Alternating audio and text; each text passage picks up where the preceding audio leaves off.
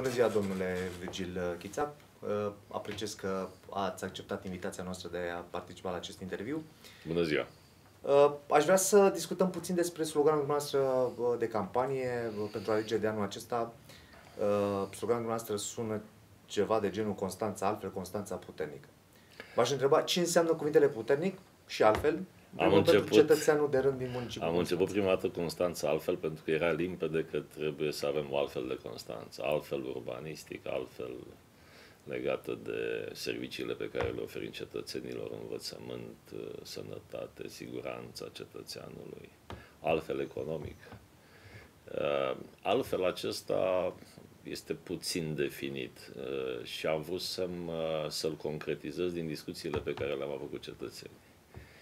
Sigur că a existat și o testare sociologică, însă din discuțiile pe care le-am avut cu concitadinii mei, ei își doresc o Constanță puternică, poate în amintirea vremurilor de altă dată, când Constanța era pe locul 2 din punct de vedere economic. Gândiți-vă că aveam al doilea salariu brut pe cap de locuitor. Constanța era puternică din punct de vedere cultural, era puternică din punct de vedere al turismului, aveam un turism uh, nu ca cel de acum, care oricum a ajuns, nu mai este un turism estival, este mai mult un turism de tip uh, de weekend, un fel de city break și o să, poate o să discutăm de chestiunea asta.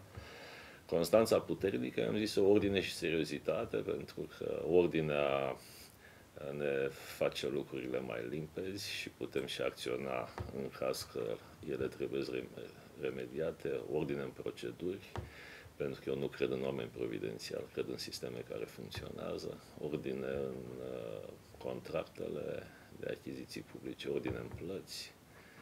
Ordinea și seriozitatea este cea care ne, ne dă predictibilitate și coerență în acțiunile noastre la primărie. Încercați să câștigați scaunul primăriei din Constanța și să rupeți, să spunem, hegemonia lui Radu Mazăre. Ce schimbări urgente ar trebui să se petreacă municipiul Constanța din secunda 2 după care ați câștigat. Numărul 1 trebuie făcut un audit în primărie, dar nu, nu un audit extern. Cred că noi suntem capabili să facem un audit intern profesionist, să vedem și noi cât mai este, de exemplu, din domeniul public și cum a evoluat el, să vedem și noi cum s-au cheltuit banii.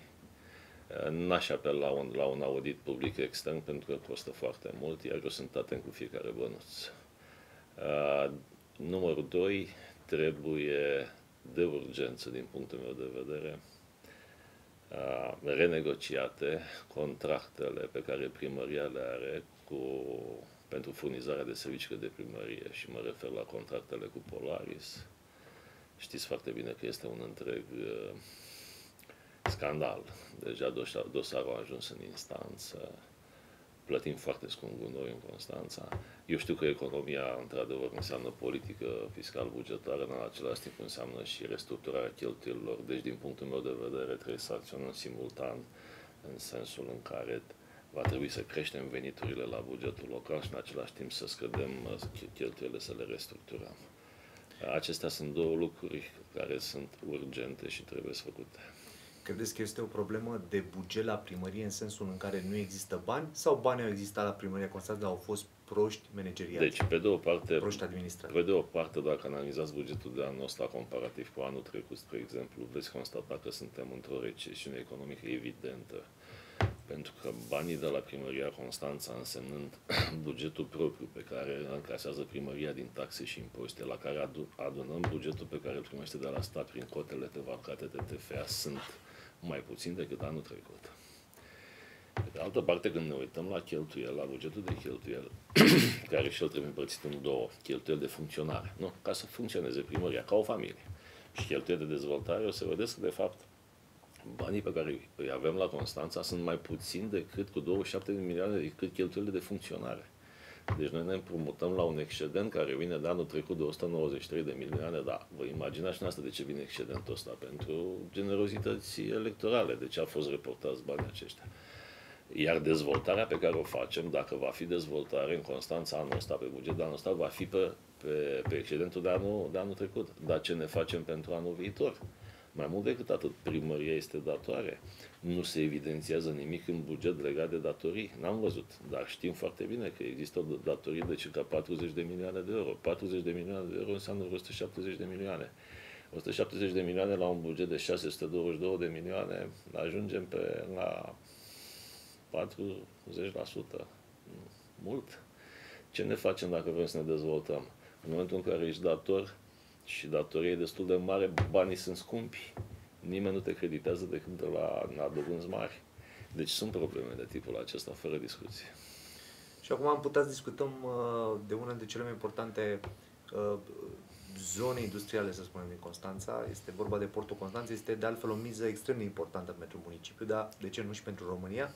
Cum poate primăria să ajute la dezvoltarea Portului Constanța? Primăria nu are niciun fel de interferență în dezvoltarea portului Constanța, pentru că probabil știți că de anul trecut, la sesizarea avocatului poporului, primăriei s-au luat și cele 20% care le avea ca acțiuni la administrația portului Constanța. Însă este limpede că orașul Constanța s-a construit în jurul portului. Nu? Constanța și primăria municipiului Constanța este interesată de activitatea în portul Constanța și de dezvoltarea portului Constanța din cel puțin trei perspective. Primul lucru, locul de muncă. În arealul acela, incluzând și șantierul naval, avem circa 15.000 de oameni care muncesc și câștigă salarii bunicele, să zicem. Um, multe entități care sunt uh, localizate în port, entități economice, au subcontractori, anumite servicii externalizate, care sunt în Constanța, deci în loc de 15.000, eu aș spune 25.000 de oameni care trăiesc și cheltuiesc, majoritatea sunt rezidenți în Constanța și cheltuiesc banii în Constanța. Deci orice dezvoltare a portului Constanța, și știți foarte bine că există uh, există acum un plan în sensul acesta, orice dezvoltare a portului Constanța trebuie să aibă în vedere nici de cum diminuarea locurilor de muncă, ci creșterea locurilor de muncă. Există un master plan care, din păcate, uh, este contestat de cei de la operatorul portual dintr-un motiv, și eu cred că ei au dreptate, master planul realizat de firma Ernst și Young nu a fost discutat și cu operatorii portuari. Până la urmă, e decizie europeană. Dom'le, când vrei să faci ceva, să dezvolți o zonă, trebuie să stai de vorbă cu cei care își desfășoară activitatea în zona respectivă. A doua, uh, a doua, a doua direcție pentru care Constanța este, primăria Constanța este interesată de, uh, de port. Uh, pentru că totuși ne place sau nu, probabil că mai mult nu, portul este principalul poluator al Constanței. Deci va trebui să discutăm cu administrația portului Constanța și cu entitățile economice ce operează acolo, cum să facem să scădem gradul de poluare, pentru că nu așa, ne, ne afectează pe toți. Și a treia direcție, am mai spus-o, o parte din portul Constanța, uh, cel puțin partea de la silozul Velusaligni, vechile silozuri ale construite de Angel Saligny, până la cuibul reginei, cred că trebuie redată turismului, dar nu turism așa cum ați fost obișnuit în Constanța, cu baruri și sexy cluburi, nu. Un turism civilizat care să conțină, de exemplu, centre de conferințe, care să conțină acvarii, uh, un muzeu Guggenheim de, și așa mai departe. Și eu cred că zona aia ar putea fi o continuare urbanistică haideți să spunem, uh, normală a ceea ce înseamnă zona peninsulară, sigur, reabilitată toată, cazinoul din Mamaia, reabilitat, intrăm în port și ajungem până la cuibul reginei. Deci o continuare urbanistică firească. Și am avea acolo o zonă de turism până la terminalul de pasageri, pentru că să știți că în ultimii ani vin multe vapoare cu multe nave, da?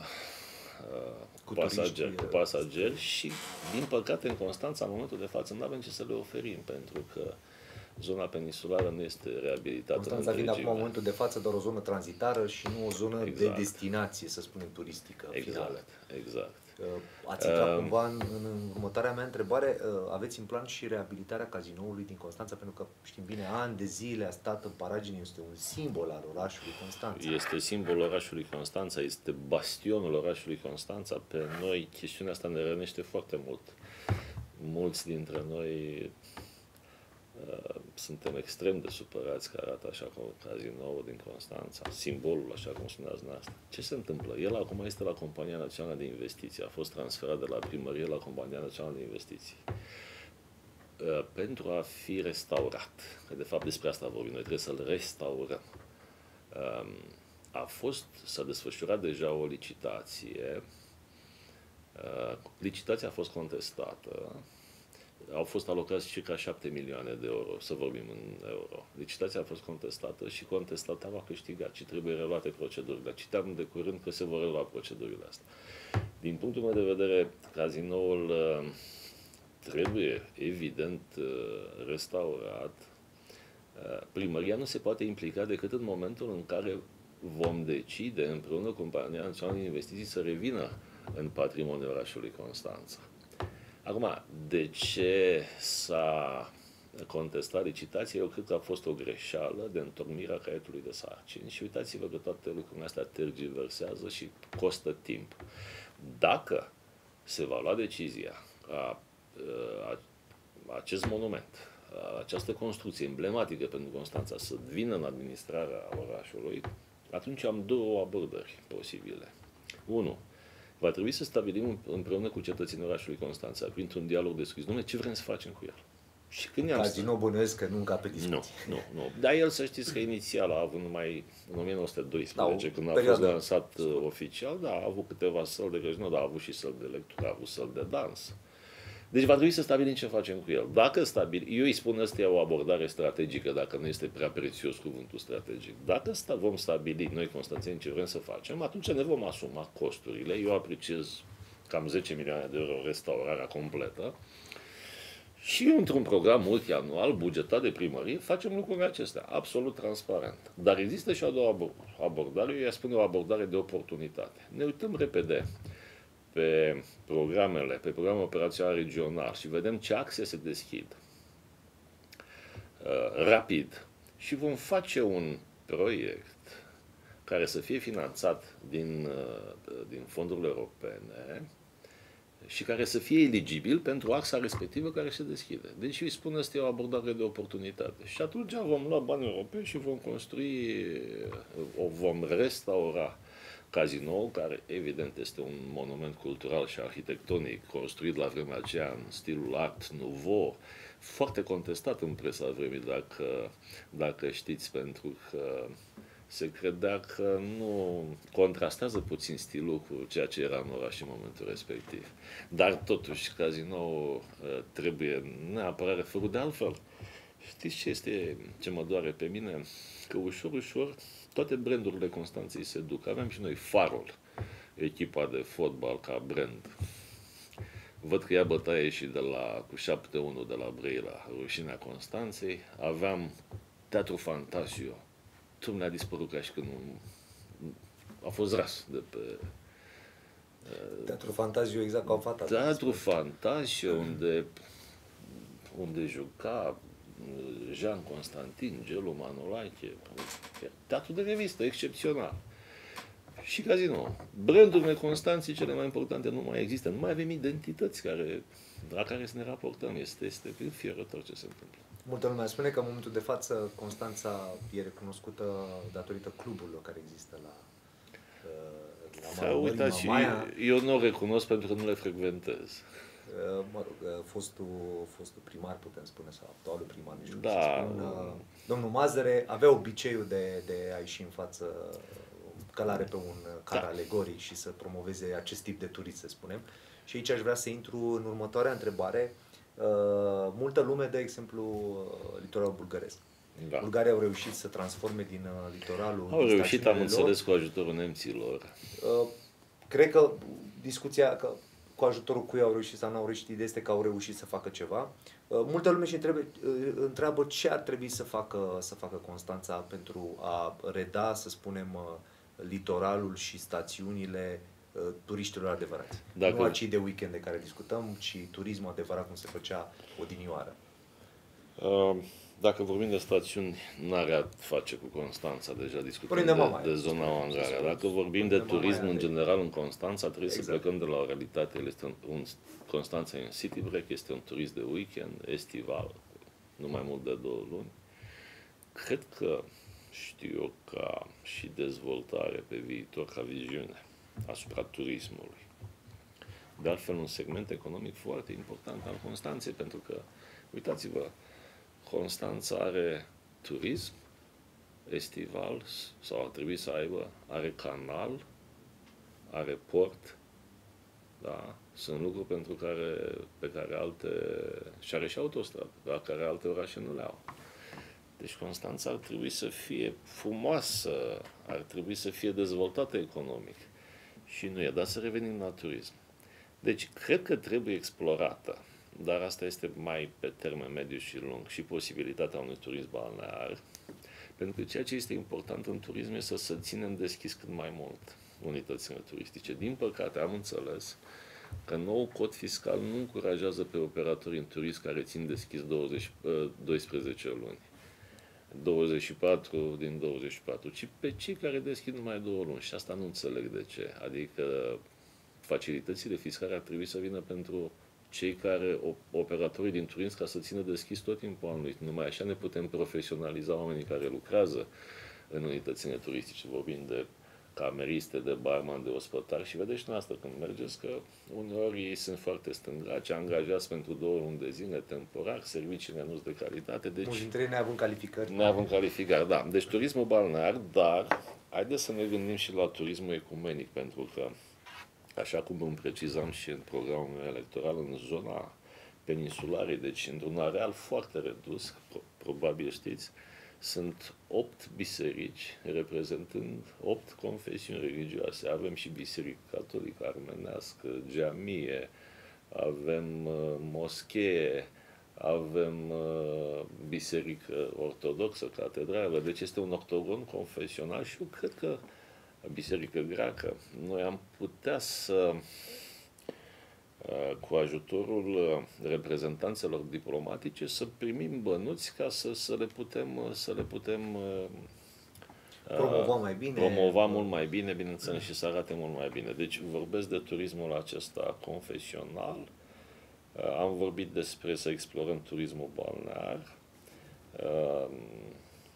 turismul de weekend așa cum vă spuneam, iar toate astea, dacă sunt foarte bine integrate, eu cred că putem să avem o industrie turistică mai dezvoltată în Constanța și care să ne aducă mai mulți bani.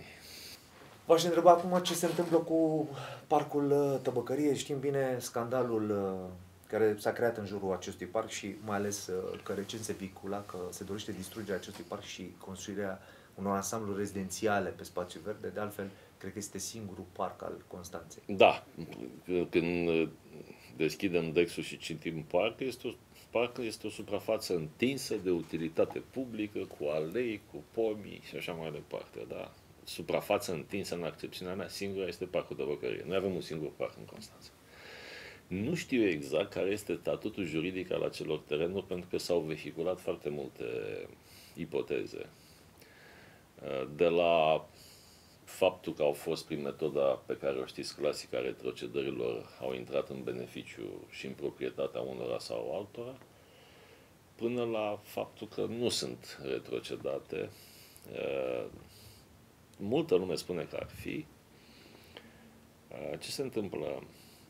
Ar fi trebuit să știm, primăria ar fi trebuit să fie mai transparentă, pentru că trebuie să avem și noi un registru al spațiilor vezi, nu există trebuie să avem o evidență a domeniului public și privat al primăriei conform legii. Legea obligă primăria, dar uitați-vă că nu există și dacă dați pe site-ul primăriei, este foarte opacă primăria Constanța, nu găsiți informații din această utilitate publică. Dar să mergem pe, pe ipoteza cea mai defavorabilă, că suprafețele ar fi retrocedate și ar fi intrat, ar, ar fi intrat în posesia unor particulari.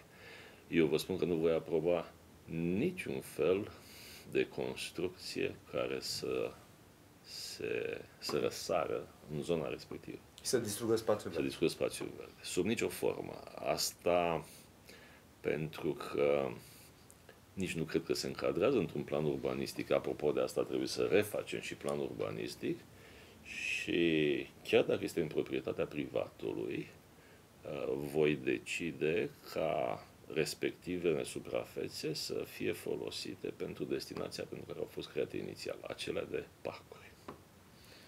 Acum v-aș întreba puțin, schimbăm cumva registru uh, despre cazul Hexifarma. Știm foarte bine, este un subiect fierbinte al acestor zile.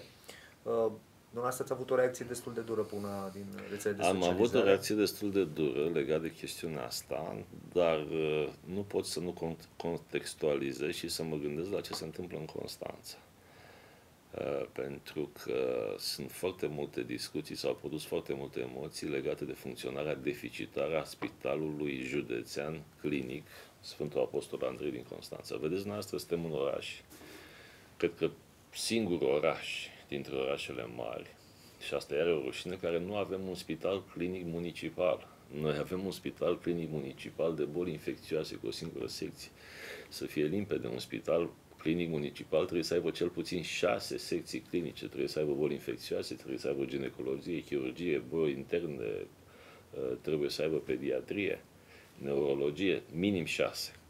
E limpede că la Constanța este nevoie de un spital clinic municipal, da? Și pentru faptul că Spitalul Județean arată foarte rău. Serviciile medicale sunt de foarte proastă calitate. Păi uitați, probabil ați auzit de scandalul acesta care s-a întâmplat de curând, când sursa de cobalt de la reactorul de radioterapie din cadrul secției oncologie a Spitalului Județean s-a terminat și onor conducerea acestui spital nu a fost în stare managementul spitalului să nu ajungă în situația asta. Sunt oameni care se tratau bolnavi de cancer și acum li se, sunt aduși în situația să fie deplasați, ba la Galați, ba la Brăila, ba la București, să se traseze, să se trateze. Nu este posibil așa ceva. Um, s-a, în Constanța, s-a cumpărat, incredibil, s-a cumpărat un aparat la paroscop 3D cred că sunt trei. Deci nu are Cluj, nu are Iași, nu are Timișoara, de chirurgie, cu circa 200.000 de euro, care stă, pur și simplu, în timp ce la secția de reanimare nu există monitoare și ventilatoare. Deci, iertați-mă, chelului îi trebuia tichie de mărgăritar. Nu știu cine îl ține pe acest domn care conduce spitalul, în funcție și de ce, în situația în care, încă o dată repet, reactorul de radioterapie de la secția de oncologie nu mai are resursă de corba, a doua zi el trebuia demis. Acolo se întâmplă ceva. Probabil că Vorbim sunt de niște... intenție sau de prost management? Uh, doi, chiar și așa. Uh, omul ăla e un management privat, omul ăla primește mulți bani pe lună pentru a face managementul spitalului, iar ăsta nu mai management nu e. De altfel, să știți dumneavoastră că spitalul este clinic, are această denumire de clinic pentru faptul că el funcționează cu facultatea și cu mulți doctori care sunt și profesori la Facultatea de Medicină din Constanța, conform legii. În mod normal, conducerea unui spital clinic trebuie asigurată de universitar, măcar directorul medical trebuia să fie universitar, dacă nu chiar managerul spitalului.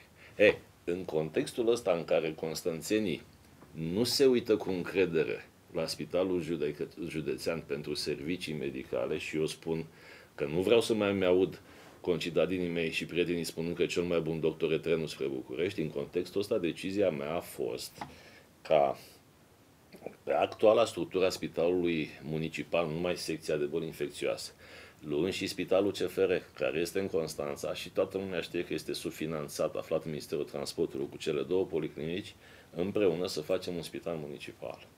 Uh, eu nu promit un spital care se va face în patru ani de zile pentru că trebuie să fim onești, cum am văzut că promit alții. Însă există posibilitatea să reconfigurăm aceste unități, să facem un spital clinic municipal și să asigurăm constanțenilor condiții uh, de tratare a sănătății. Trebuie în același timp să ne uităm că noi discutăm foarte mult ce se întâmplă de când intrăm în spital. Zona de prevenție. Zona de prevenție, zona în care vorbim de medicii de familie, dar nu numai atât, chiar și educație. Educație sanitară în școală, trebuie să învățăm pe copii să sune la 112. Ne place sau nu ne place, trebuie să facem și o educație sexuală precoce. Da, deci zona asta educație, educație alimentară. Eu când eram copil, mie mi se spunea la școală că usturoiul este antibioticul natural și laptele e somniferul natural. Da? Uh, deci trebuie să ne uităm și la zona de prevenție, pentru că dacă nu suntem atât la zona de prevenție, aglomerăm inutil spitalele. Da? Și când vorbeați acum de zona de prevenție, v-aș întreba că are cumva legătură dacă în cazul în care câștigați alegerea la primărie și veți câștiga scaunul primăriei Constanța, aveți în plan și susținerea sportului constanțean. Știm foarte bine, în afară oh. de HCM Constanța, care mai scoate capul cumva. Dar vă spuneam de Farul Constanța. În rest nu mai este Farul Constanța, dacă da. nu mă înșele prin divizia a doua sau a treia, adică a doua sau a treia. A doua. Uh, am, am, am în vedere așa ceva pentru că da, mă refer numai la fotbal, ci tot ce înseamnă sport. Nu, clubul Farul. Uh, și... Uh, Păi trebuie să susținem sportul pentru că, bine, uh, sunt foarte puține locuri unde se mai, se mai poate face sport în Constanța. Nu au fost reabilitate terenuri de sport. Dumneavoastră vă puteți imagina că acest oraș nu are un bazin de nou de dimensiuni olimpice. Singurul bazin este la Academia Navală care este funcțional. Da, mă rog, e în cadrul unei instituții, este cu circuit închis, deci nu este deschis publicul. Este posibil ca orașul Constanța oraș la mare, cel mai important să nu aibă un bazin de not. Uh, sigur că am, uh, am în vedere lucrurile astea și cu toată convingerea, împreună cu Direcția Județeană de Sport, va trebui să vedem cum susținem uh, sportul constanțean și, sigur, și cu bani de la primărie acordați transparent, dar trebuie să aducem alături de noi și, și privații vorbim de investitori privați care da. ar trebui să susțină sportul da. în toată întregimea lui, pe toate paliere și toate verticale. Fără discuție. Uh, acum aș vrea să vă întreb uh, ca o întrebare uh, cumva finală, totuși urmează alegerile și trebuie să discutăm puțin de chestia asta. Voiam să vă întreb dacă vă avantajează legea cu un singur tur de scrutin, adică din punctul meu de vedere cu siguranță avantajați sunt primarii care sunt încă în funcție aveți, și candidează anul acesta. Aveți dreptate, sunt avantajați primarii care sunt în funcție și mai ales cei care au în spate un partid mare. Pe mine personal nu mă avantajează, dar asta nu înseamnă că mă demotivează sau privesc cu neîncredere alegerile. Dincolo de toate dezavantajele care s-au spus ale alegerii primarilor într-un singur tur de scrutin, o să mai vedeți una. O să vedeți o campanie electorală a noastră. Primarii care sunt în funcție și care au în spate partide mari nu vor ieși la votare.